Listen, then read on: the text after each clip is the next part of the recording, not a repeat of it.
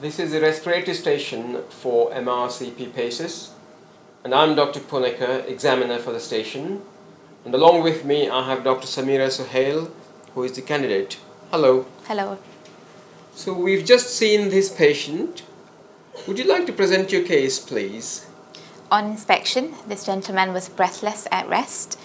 On general physical examination, he was also tachycardic and there was evidence of clubbing as well as central cyanosis. Okay. On examination of his chest, he had bilateral and inspiratory crackles at both bases that did not shift with coughing.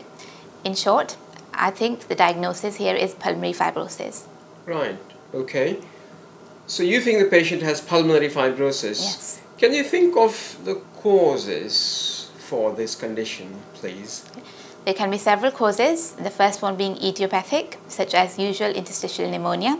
Okay. Pulmonary fibrosis can be associated with connective tissue diseases, such as rheumatoid arthritis, SLE, and ankylosing spondylitis. Okay. It may also be caused by occupational exposure to certain agents, for example, silicosis, asbestosis, or exposure Right. to dust.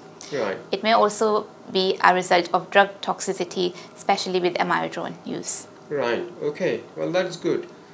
I'll just show you this X-ray. Would you like to just point out the main findings on this chest X-ray, Okay, please? sure. So on this X-ray, I can see bilateral extensive fibrotic changes in both lungs, which is in keeping with my diagnosis of pulmonary fibrosis. Okay, that's good.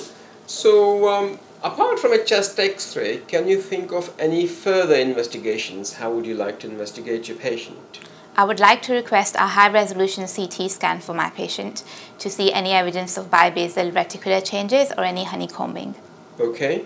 Any other investigations you'd like to think of? I would like to order some pulmonary function tests and I would expect to see a restrictive pattern, What What do you mean by restrictive pattern? um, reduced forced vital capacity with a normal FEV1 over FVC ratio.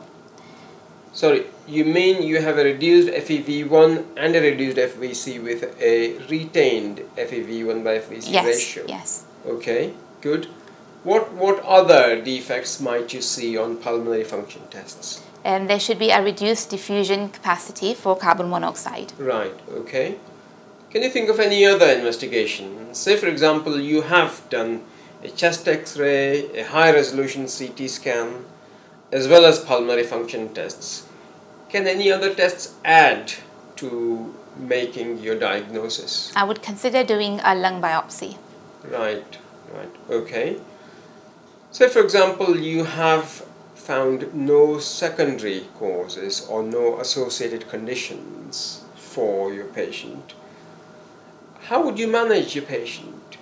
The mainstay of treatment for idiopathic pulmonary fibrosis is supportive care, so supplemental oxygen um, and pulmonary rehabilitation.